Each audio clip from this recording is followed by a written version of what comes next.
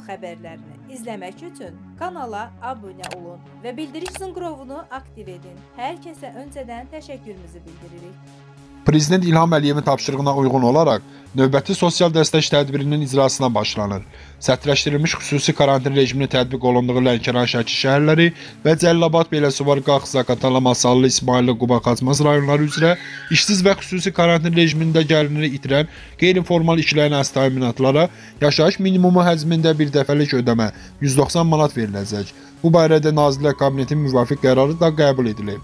Adı çəkilən şəhər və rayonlar üzrə 190 manat məbləğ bir dəfəlik ödəmə almış şəxslərə Nazirlər Kabinetinin təsdiq etdiyi qaydalara uyğun olaraq təkrar yoxlama keçirildikdən sonra həmin məbləğdə ödəmənin verilməsi bir dəfəlik şəkildə həyata keçiriləcək. Əmək və Əhalinin Sosial Müdafiə Nazirliyindən Baku WS verilən məlumata görə bunun üçün vətəndaşların təkrar müraciətinə ehtiyac yoxdur. Vəsait bir dəfəlik ödəməni almaq üçün banklar tərəfindən verilmiş bank kartlarına köçürüləcək və bu barədə onlara SMS vasitəsilə rəsmi bildiriş göndəriləcək.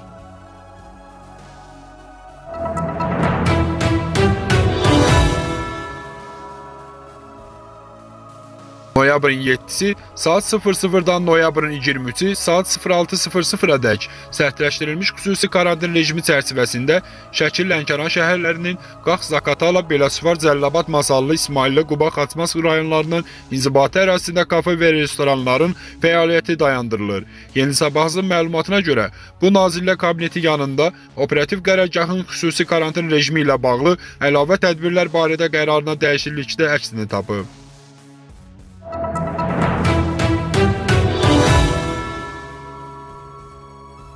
Ermənistan tərəfindən işğal edilmiş torpaqlarımız uğrunda şiddətli döyüşlər davam edir.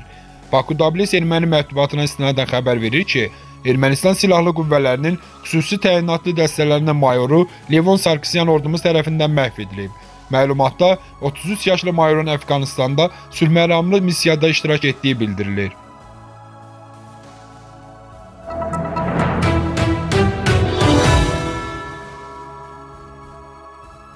Azərbaycanın işğaldan azad olunmuş Məmmər kəndindəki 18-ci əsrə aid məscid, məscid tamamilə dağıdılıb. Vandalizmlə yanaşı 18-ci əsrin dini mədəni abidəsi işğal zamanı Ermənistan tərəfindən təhqir əlaməti olaraq donuzxanaya çevrilib. Baku WS xəbər verir ki, bu fikirləri Azərbaycan Respublikasının prezidentinin köməkçisi, prezident administrasiyasının xarici siyasət məsələlər şöbəsinin müdiri Hikmət Hacıyev öz Twitter hesabında yazıb.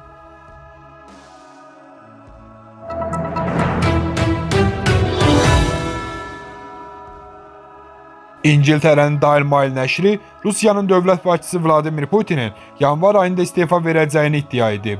Redaktor az xəbər verir ki, həmin məlumatda Vladimir Putin sağ qolunda özünü biruzə verən simbotomların Parkinson xəstəliyinə işarə etdiyini bildirib. Ötən ildə Vladimir Putinin bu xəstəliyə tutulması ilə bağlı bir sıra iddialar irəli sürülmüşdü. Həmin iddialara əsasən Britaniyanın tibbi jurnalı bu məsələni araşdırmağa başlayıb. Araşdırmalar nəticəsində məlum olub ki, Vladimir Putinin sağ qolunda asimetrik olaraq aşağıya doğru azalma, yəni qol sallanması var və bu simptotum Parkinson xəstəliyinin işarəsidir.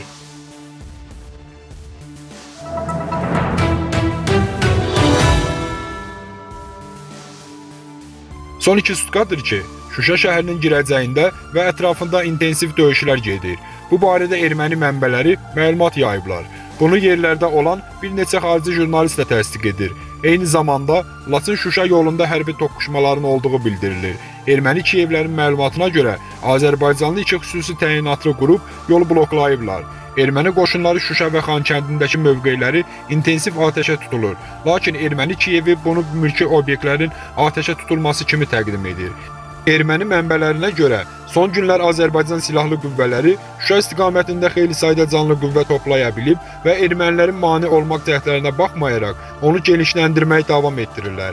Ermənistan Müdafiə Nazirliyinin nümayəndəsi Arturson Ovanisyan dünən bəyan edib ki, Azərbaycan ordusu Şuşa şəhərini götürməyə və noyabrın 9-da şəhər üzərində öz bayrağını uzatmağa planlaşdırır.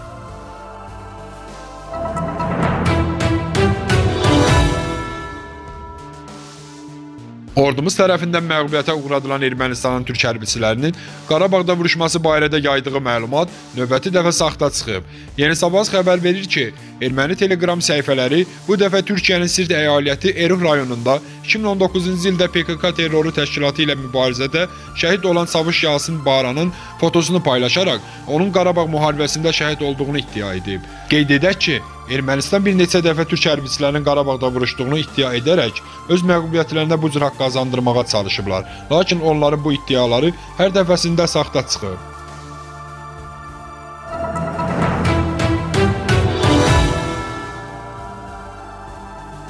Rusiya prezidenti Vladimir Putinin rəhbərliyi ilə Təhlükəsizlik Şurasının daimi üzvlərinin iclası keçirilib.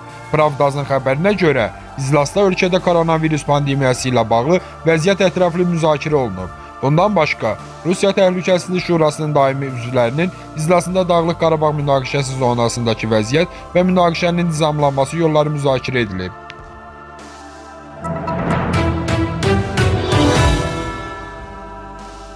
Son günlərini yaşayan Qarabağdakı qondarma rejimin rəhbəri Araq Arturyanın yeni fotoları yayılıb.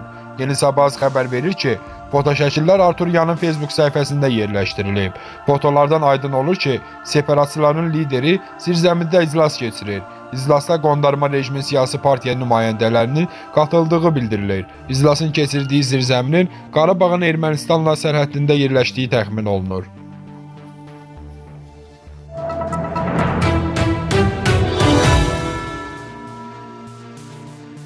Ali Baş Komandanın əmri ilə Azərbaycan əskəri düşmənin 30 il müddətində işğal edilmiş ərazilərdə tikdi istehkam maneələri yarır, qurğular puskuları dağıdır və hədəfə yaxınlaşır.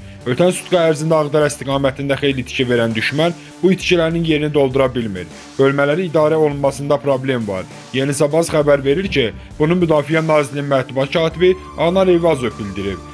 Əks hücum əməliyyatında ordumuzun qarşısında duran əsas tapşırıq çətin relyef və iqlim şəraitində mütəşəkkil qaydada irəliləməkdir. Hazırda Azərbaycan ordusunun qarşısında təkcə Ermənistan silahlı qüvvələrinin bölmələri deyil, eyni zamanda xaricdən cəlb edilmiş muzlu və xarici terrorçu döyüşçüləri də var.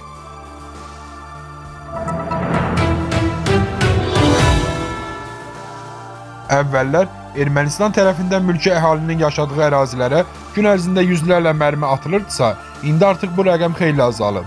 Bu sözləri redaktor Aza hərbi ekspert Əbuzər Əbilov deyib. O ordumuzun sürətlə irəliləyədiyini bildirib. Ordumuz artıq çox irəlidədir və düşmənin ərazidə olan texnikaları, silah sursatı yayılım atəş sistemləri məhv edilib. Buna görə də erməni terrorçuları əvvəlki kimi mülki əhaliyə qarşı terror aktları törədə bilmir. Olduğum əraziyə əvvəllər gün ərzində 100-dən çox raket atılırdısa, indi artıq bu rəqəm xeyli azalıb. Düşmən bütün istiqamətlərdə sıxışdırılıb. Onlar silahlarını, texnikalarını qoyub qaçırlar. Yaxın günlərdə ordumuz böyük bir nailiyyətə imza atacaq. Sadəcə biraz səbirli olaq. Biz 27 ildir gözləyirik. Biraz da gözləyərik. Ordumuz öz işini görür. Dayanmadan düşmənə aman vermədən vuruşur. Qələbəyə az qalıb.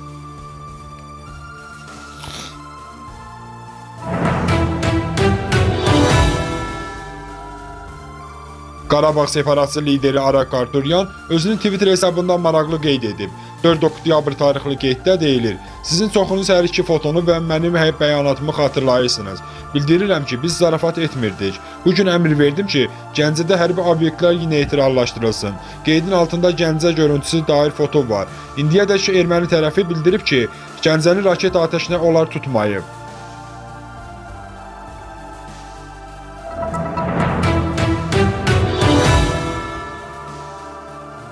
Ağdərədə yerləşən Ermənistan silahlı qüvvələrinin 1-ci Ümumi Qoşun Ordusunun 10-cu Dağatıcı Diviziyası və 5-ci Dağatıcı alayının bölmələrinin təminatında ciddi çatışmamazlıqlar yaranıb. Yeni Sabaz xəbər verir ki, bu barədə Azərbaycan Müdafiə Nazirliyi məlumat yayıb. Qeyd olunub ki, düşmənin adı çəkilən bölmələrində ərzaq, hər, hərbi əmlak, döyüş sursatları, yanacaq sürtüş materialları çatışmır. Cəbhənin Ağdərə istiqamətində gedən döyüşlərdə canlı qüvvə və döyüş texnikası sıradan xeyli itki verən düşmən bu itkilərin yerini doldurmaq imkanına malik deyil. Bundan əlavə qeyd olunan hərbi hissələrdə komandanlıq arasında rabitə əlaqəsi kəsilib və bölmələrin idarə olunmasında da problem yaranıb.